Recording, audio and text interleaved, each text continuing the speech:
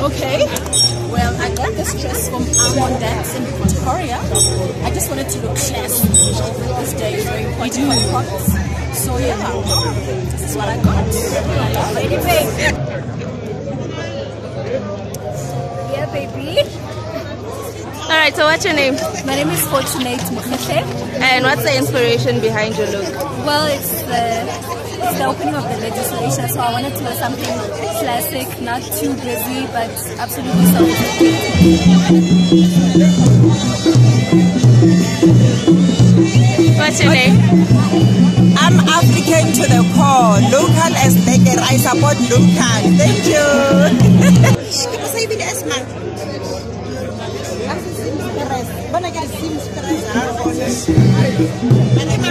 What's your name?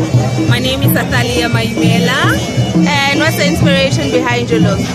No, I got an inspiration from the union. You know, the red is representing the union, not the other party.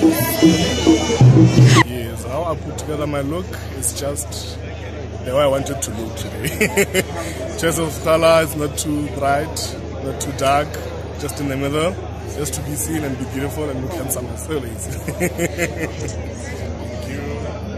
Thank you.